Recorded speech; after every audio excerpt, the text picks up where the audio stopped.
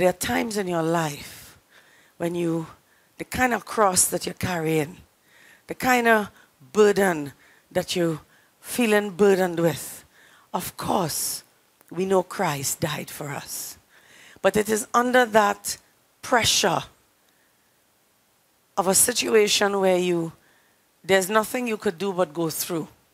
You can't, you, you don't know which way to go, you just know that you're standing and whatever this cross is, you're laying it at the foot of the cross of Jesus. But I want you to understand something. Don't let people make you feel that when you come and you lay it at the feet of Jesus and at his cross, that all of a sudden you feel your burden lift. Sometimes you know in faith that you are giving it to him, but you are still experiencing the pain and heartache. I'm telling you, when there's nobody else to turn to, first of all, I want you all to know, thank God for the times when people let you down. Because it is when you fix your gaze on Him, and they may not do it deliberately, they're just not there, you will see the light. You will see the light. Because when you kneel at that cross and you say, God, I know you suffered more than I'm suffering now. And I'm giving this to you because you are the burden bearer. And I don't know which way I'm going, but I know I'm going through with you. The darkness begins to clear. The darkness begins to clear. And you see the light.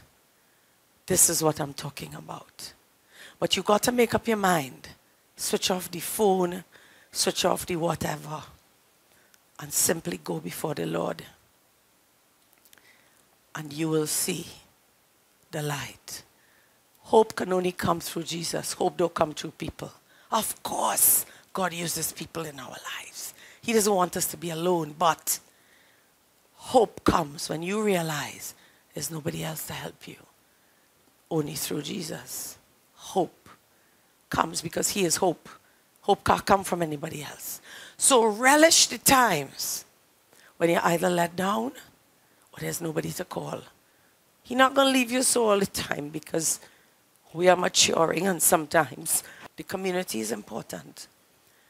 But oh, to have that time when you're misunderstood, you're forgotten, trampled on, and left to cope.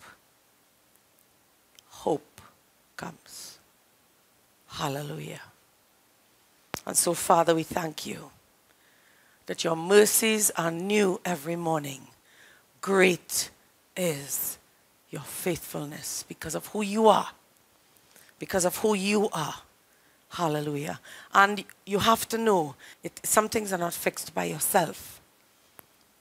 But you've got to take time by yourself to pray through and wait at the foot of the cross. Hallelujah.